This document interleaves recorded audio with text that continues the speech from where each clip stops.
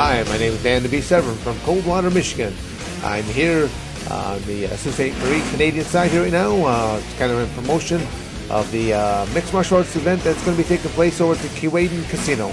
My background in mixed martial arts uh, starts back in uh, 1994 and from Ultimate Fighting Championships, uh, UFC number five, what is known as nose barred fighting. Uh, the difference between what you see in today's mixed martial arts as opposed to the uh, no holds barred era is that they operate off of 37 rules. Part of those 37 rules is there were weight classes, time periods, and they wore gloves. Um, back in the, the no holds barred era, they had to abide by two basic rules: do not bite your opponent, no eye gouging. Into the rules: no weight classes, no time periods, and no gloves. And I did not make up my own ring name; it was actually bestowed upon me by the legendary football player Jim Brown. Jim Brown was one of the uh, play-by-play uh, commentators in the Ultimate Fighting Championships, and he says, "Well, he says you're kind of like uh, Clark Kent, Superman."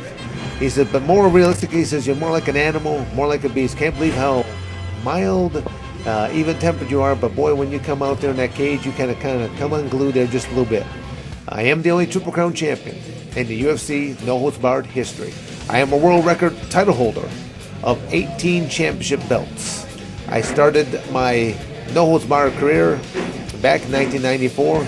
Uh, 36 years of age, just getting ready to turn 37 years of age. I'm actually the oldest cage fighter in the world today, and I am taking on men that are usually about half, less than half my age, and I do just fine. Uh, the fans this weekend can expect to see uh, what I call just total nonstop action. I mean, by the time the referee says uh, to one fighter, "Are you ready?" Then they "Are you ready? Let's get it on." I mean, basically, uh, it's a lot of action. The fans I definitely will be thrilled from the start to the finish. Hi, my name's Derek O'Neill, Derek the Real Deal O'Neill. I've been training at Dan Severn's camp for a little over two years. Then I moved down to Helson Gracie camp uh, in Austin, Texas. Uh, I'll be fighting this weekend at uh, Kewadin Casino, fighting Brent Faria, um, another Soo boy. So it should be an exciting match.